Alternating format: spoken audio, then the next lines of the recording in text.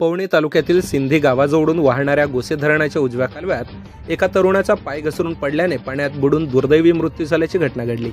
ही घटना अकरा एप्रिल रोजी सायंकाळी पाच वाजताच्या सुमारास उघडकीस आली.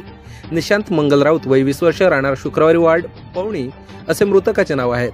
रात्री उशिरापर्यंत मृतदेह सापडले नव्हते. पवणी येथील शुक्रवारी वार्डातील निशांत राऊत हा शेडी येथे आपल्या नातेवाईकांकडे मोटारसायकलने जात असताना सिंधी गावाजवळ मोटारसायकल थांबवून शौचाकडे गेला होता. गोसे धरणाच्या उजव्या कालव्यात उतरत असताना अचानक त्याचा पाय घसरून दुथडी भरून वाहणाऱ्या कालव्यात पडला.